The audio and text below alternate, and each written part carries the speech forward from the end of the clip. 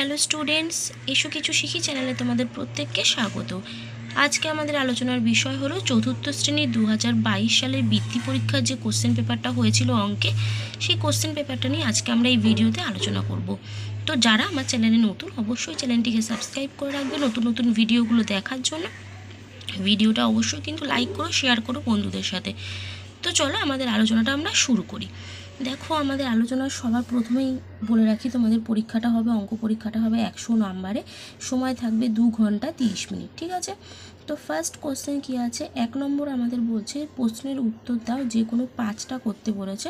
এক নম্বর করে পাঁচটা করতে হবে পাঁচ নাম্বার, ঠিক আছে? ফার্স্ট কোশ্চেন কি বলছে দেখো, একের ক বলছে যুগ্ম অথচ মৌলিক সংখ্যা কোনটি? তো এটা হবে যুগ্ম অথচ মৌলিক সংখ্যা হচ্ছে দুই।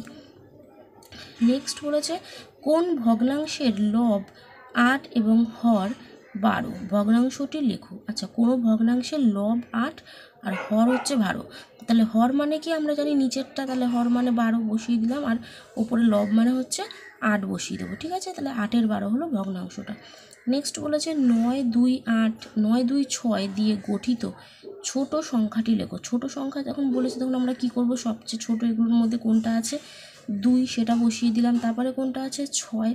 তারপরে কোনটা আছে? নয়। তাহলে নয়, দুই, ছয় দিয়ে গঠিত সব থেকে ছোটো সংখ্যাটা হচ্ছে দুই, ছয়, নয়। নেক্সট বলেছে, দেখো, যে রেখা এঁকে বেঁকে চলে তাকে কি রেখা বলে? এটাকে কিন্তু বক্ররেখা বলে, ঠিক আছে? তারপরে বলেছে, ছয়, শূন্য, নয় সংখ্যার শতকের ঘরের অঙ্কটির প্রকৃত মান কত? প্রকৃত মান তাহলে কি হবে? এটা আমরা দেখতে পাচ্ছি ছশো নয় আছে, একক দশক শতক। শতকের ঘরে কত আছে? ছয়।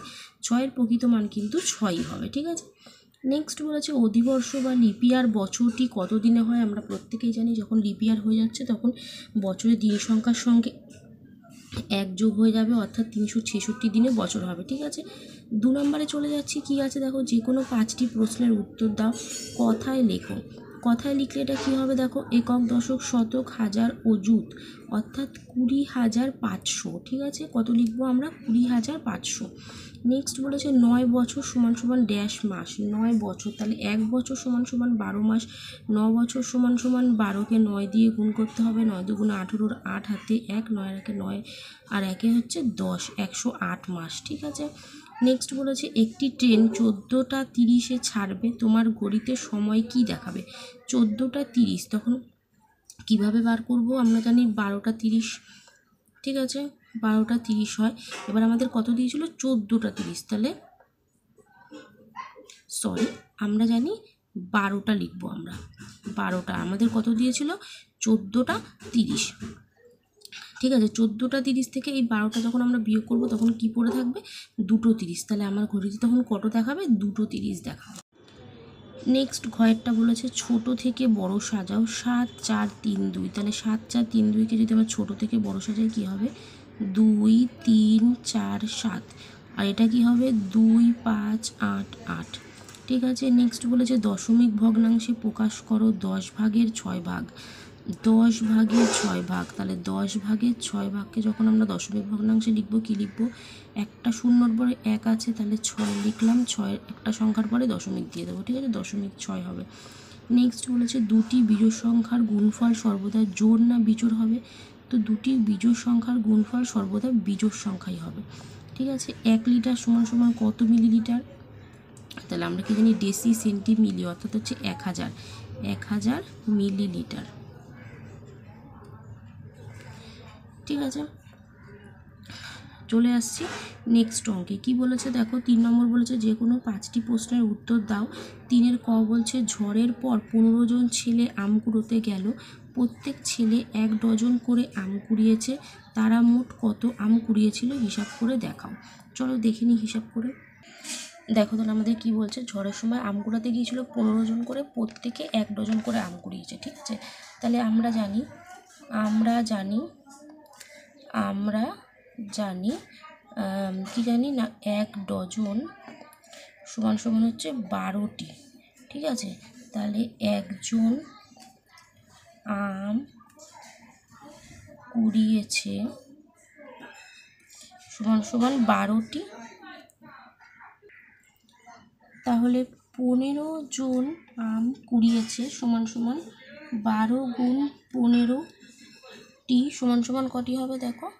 পনেরো গুণ বারো করলাম, পাঁচ দুগুণে দশে শূন্য, হাতে এক, দুই একে দুই একে তিন, গুণ পাঁচ এককে পাঁচ এককে এক, সমান হচ্ছে শূন্য, পাঁচ আর তিন যোগ করলে হচ্ছে আট, একশো আশিটি একশো আশিটি ঠিক আছে? পনেরো জন আম কুড়িয়েছে, একশো আশিটি এবার চলে আসছি আমরা নেক্সট অঙ্কে। নেক্সট অঙ্কে কী বলেছে আমাদেরকে? বলেছে একটি বাগানের জন্য তিনশো পঞ্চাশটি চারা কিনে আনা হলো, পঁচিশটি শাড়িতে সমান সংখ্যায় ভাগ করে রাখা হলো, প্রতি শাড়িতে কতগুলো করে চারা গাছ রাখা হলো তা হিসাব করে দেখো আচ্ছা তিনশো পঞ্চাশটি গাছ আনা হয়েছে, পঁচিশটি শাড়িতে সমান সংখ্যায় রাখা হয়েছে। তাহলে আমরা লিখব, এটা নেক্সট অঙ্ক, ঠিক আছে? তিনের তিনের খ খ নাম্বার এটা ছিল ক নাম্বার তাহলে লিখব পঁচিশটি শাড়িতে সমান সংখ্যায় রাখা হয়েছে। তাহলে আমরা কি করব? তিনশো পঞ্চাশটি গাছ আনা হয়েছে। পঁচিশটি শাড়িতে রাখা হয়েছে। অতএব প্রত্যেক সারিতে গাছ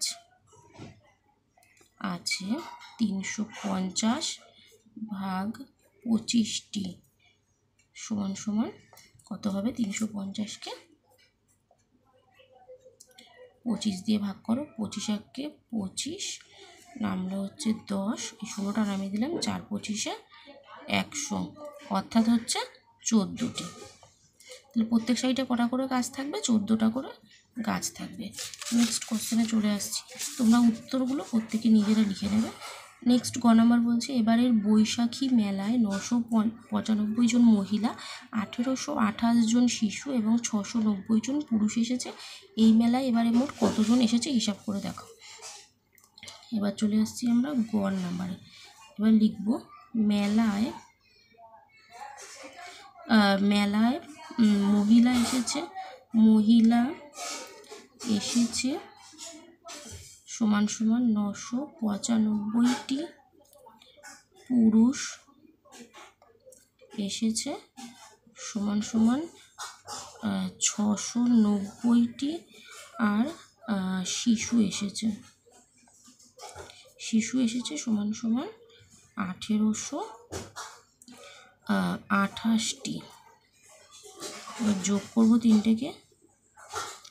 আট পাঁচ তেরো তিন হাতে এক, নয় নয় আঠেরো উনিশ কুড়ি আর একে একুশের এক, হাতে রইল দুই, নয় আর দুই হচ্ছে এগারো এগারো আর ছয় হচ্ছে সতেরো সতেরো আর আট, আঠেরো উনিশ কুড়ি একুশ, বাইশ তেইশ চব্বিশ পঁচিশ, পঁচিশের পাঁচ, হাতে রইল দুই, এক আর একে দুই, অতএব পঁচিশশো তেরো জন।